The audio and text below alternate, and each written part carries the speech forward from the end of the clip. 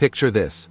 A group of American soldiers from Easy Company, known for their bravery and resilience, are assigned to a special mission in Germany. Their objective? Capture Hitler's famous Eagle's Nest, nestled in the picturesque town of Berchtesgaden. Now, Berchtesgaden wasn't just any ordinary place. It was the very spot where Hitler had planned his conquest of Europe.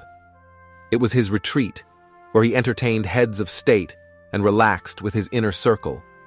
And capturing this strategic location would mean etching their names in history as the conquerors of Hitler's empire. But here's the twist. The race to capture Berchtesgaden wasn't just between the Americans. French and other Allied units were also vying for this prestigious prize. It was a battle of honor and glory, with every soldier desperate to be the one to claim victory. On April 25, 1945, the Kehlstein House, also known as the Eagle's Nest, became the target of a massive bombing raid by the Royal Air Force. However, the small house proved to be an elusive target, and instead, the nearby Berghof area suffered severe damage. Now, here's where it gets interesting. The first unit to reach the Kehlstein House is still a matter of debate.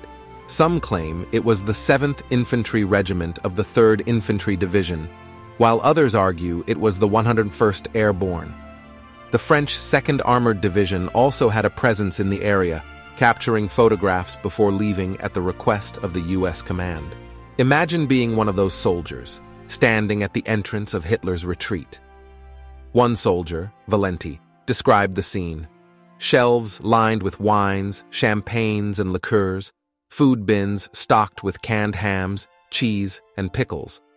It was a surreal experience, sitting in Hitler's great room, where he once entertained world leaders and sipping his wine.